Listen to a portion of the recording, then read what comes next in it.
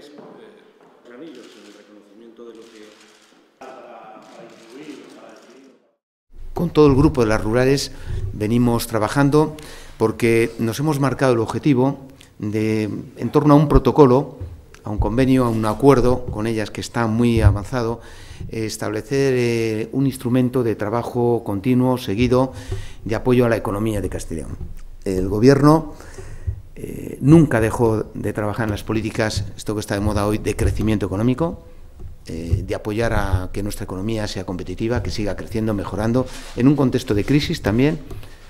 No hemos olvidado, evidentemente, y tenemos muy presente, y lo estamos practicando y saliendo las políticas de ajuste, a la vista de eh, los dos grandes problemas que tiene el país, que, que les tenemos todos, como es el cumplir el objetivo del déficit y, por otro lado, ver de qué manera mejoramos nuestras condiciones de endeudamiento. Tenemos unos activos totales de unos 5.000 millones de euros aproximadamente.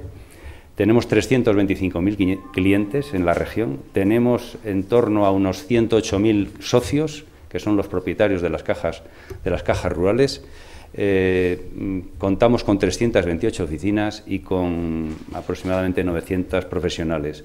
Tenemos un equipo humano muy profesionalizado y estamos suficientemente dotados de los medios técnicos que además vienen arropados por la estructura de nuestro grupo.